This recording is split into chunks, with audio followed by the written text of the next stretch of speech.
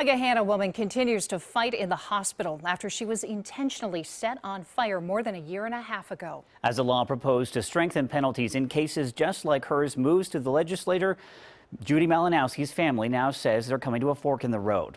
NBC4's Olivia Fecteau spoke to Judy's mother today at the burn unit. She's live at OSU's Wexner Medical Center tonight with our continuing coverage. Olivia? Ellie and Mark, it's hard to even imagine what Judy Malinowski has been through. She's undergone 60 surgeries now, and her mother says at this point they are in a very tough spot. With the final House committee hearing for Judy's law scheduled for next week, the family is still hoping Judy's pain can make a difference.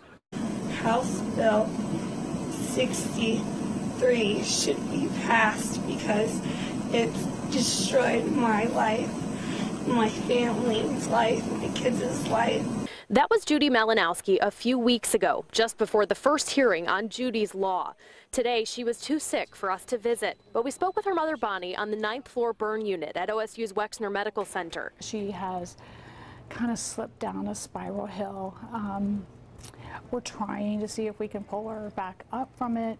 Judy has been through 60 surgeries since August 2015 when she was doused in gasoline and set on fire. Since then, her recovery has been a long and painful process. Right now, her mother says they're at a fork in the road. We're either going to have to make a choice to let God and nature take its choice, or hopefully she'll pull out of it and um, we'll be able to move forward. I can't tell you from a mom's perspective what that's like, no matter the outcome.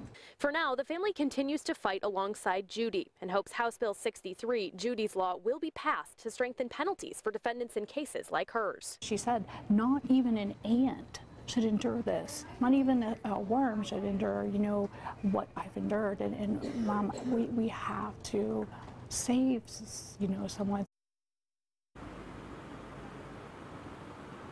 NBC4 viewers have sent in tons of cards for Judy. We gave those to her mother, Bonnie, today. You'll hear her message to our NBC4 viewers coming up tonight at 6. Reporting live at Wexner Medical Center, Olivia Fecteau, NBC4. Olivia, thank you. And we set up the Judy Malinowski Fund to help Judy and her family. All the proceeds go to her family's living and medical expenses. You can go to any Huntington Bank branch and tell them you'd like to donate to the Judy Malinowski Fund. There is also a GoFundMe page for Judy and her family.